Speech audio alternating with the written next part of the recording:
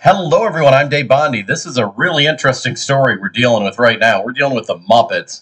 So go ahead if you're watching right now on YouTube, hit the subscribe button. Hit the subscribe button because you won't see this content anywhere else. And Facebook likes hiding my videos. So if you subscribe to my videos, you'll see them everywhere. So click the subscribe button down below.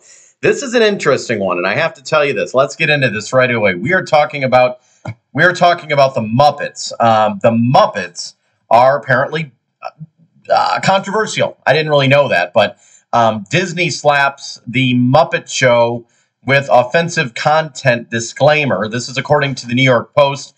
Uh, this story was published earlier today. Um, the Muppets are offensive, apparently. Anyone who streams The Muppet Show on Disney will see a disclaimer warning of offensive comment.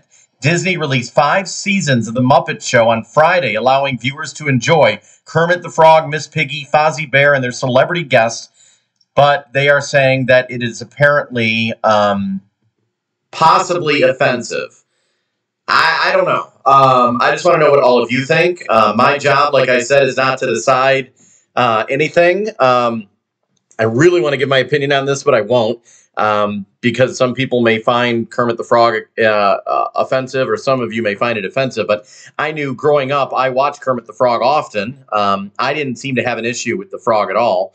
Um, or the Muppet Show, but uh, according to Disney, they are putting a disclaimer on this that it, there may be offensive content in the Muppet Show. Um, really interesting. I want to know what your comments are. So go ahead and leave a comment down below on the screen.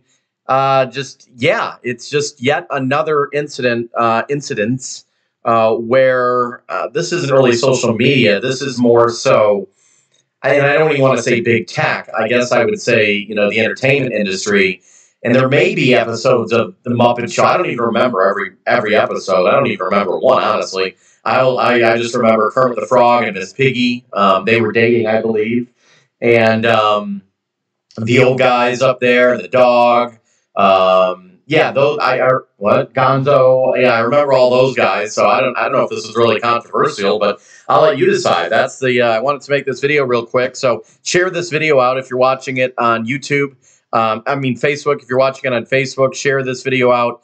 And I just wanted to make this video to let everyone know that apparently the Muppets, the Muppets are now controversial, according to the uh, a story in the New York Post today. The Muppets are controversial and they could have offensive content. So I'm going to let all of you go. I just wanted to uh, let you know what you think about this. This is this is really interesting. So the Muppets uh, deemed uh, possibly offensive content by Disney.